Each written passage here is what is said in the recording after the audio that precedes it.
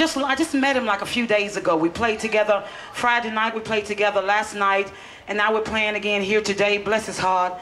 That's how it starts, though, y'all. You got to start him right here and bring him on.